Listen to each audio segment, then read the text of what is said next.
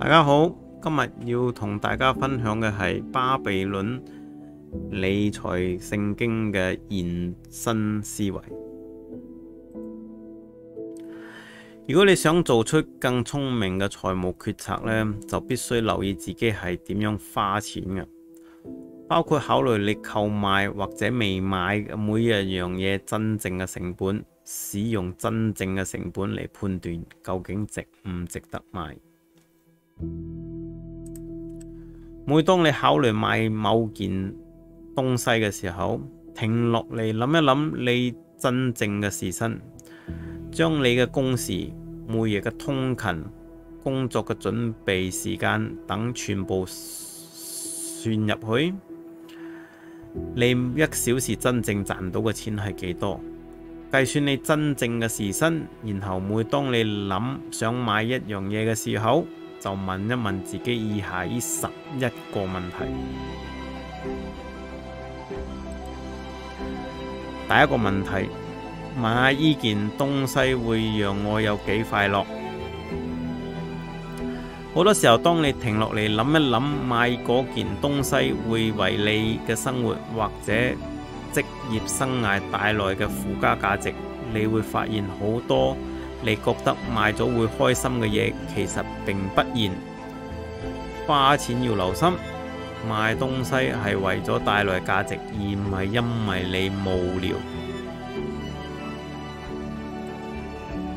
第二個問題，我需要賺幾多錢先能夠負擔呢樣東西？諗一諗，你為咗買呢件東西需要工作幾多小時，亦能提供一啲。睇法，冇忘记，你都要将赚到纳税金额所需嘅时间计埋落去噶。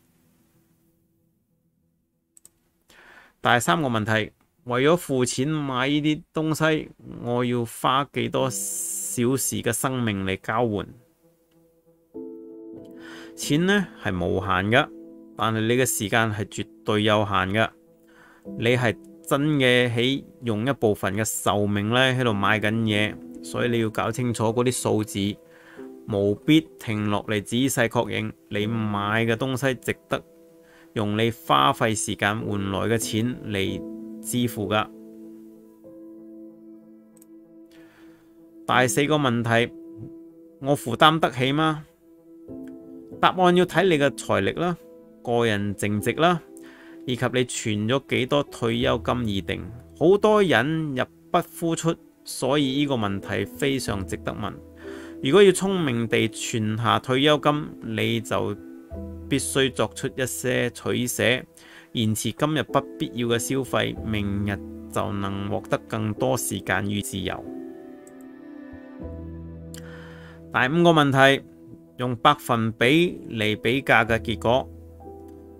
三蚊同四蚊嘅產品差一蚊，聽起嚟冇差幾多，但係事實上呢係差咗廿五個 percent 噶。取得廿五個 percent 嘅報酬率係好驚人嘅事情，務必計算百分比嘅差異，確認真係有必要買更貴。賺錢最簡單嘅方法就係唔好花咗佢。第六個問題。可以買便宜一啲或用交換㗎嘛？好多時候只要揾一揾，或是有耐性就能夠揾到更便宜嘅選項。買二手貨唔好買新產品，亦都能夠慳下好多錢。你應該問問自己，是否值得多花錢買新嘅？有冇辦法用換嘅或者異物異物呢？第七個問題，我為咗圖方便花咗幾多錢？事實上，使好多錢買嘅嘢，如果係自己喺屋企入邊做，會平好多，有時品質都會更好噶。舉例嚟講啊，餐廳要價六十蚊嘅一道菜，喺雜貨店買，講唔定就只需要十五蚊。真嘅要必要為咗餐廳氣氛使多過四十五蚊嗎？第八個問題，喺我嘅餘生中，呢件東西每年會使我幾多錢？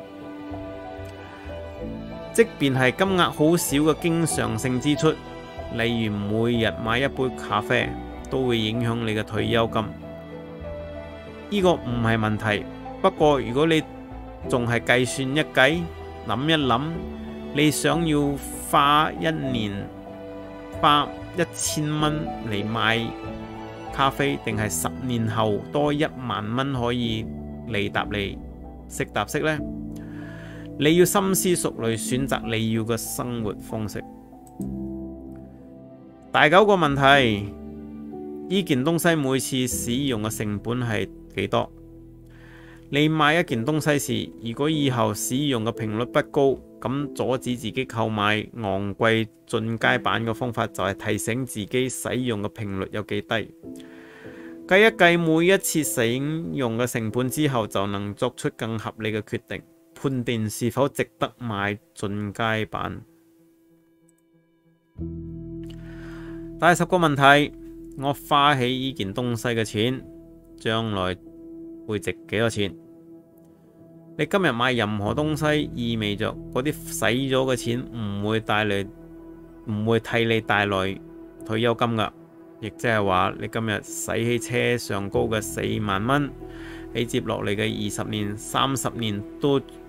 唔會以每年七八仙嘅福利增加，你要確認你今日買嘅嗰件嘢值得你為佢放棄未來可能產生嘅所有收益。第十一個問題，呢件東西喺未來能替我買到幾多時間或者自由？呢題大概係最重要嘅問題啦。你喺計算嘅時候，你會發現你今日。每投資廿五蚊，都能讓你未來多賺到一日嘅退休日。從呢個角度嚟睇，你靠聰明購物慳翻嘅一百蚊，就係多買到四日嘅自由。記住，冇必要以未來嘅時間為單位量化你所有嘅消費，咁嗰個數字呢，將會影響你嘅抉擇。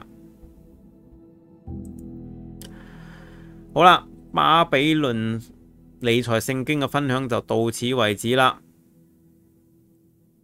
喜歡呢段視頻或者呢個系列嘅朋友，記得撳 like 啊！如果你覺得呢段視頻或者呢一系列巴比倫理財聖經嘅視頻對你有幫助，不妨 share 俾一位朋友啊！多謝晒，我哋下一段視頻再見啦，拜拜。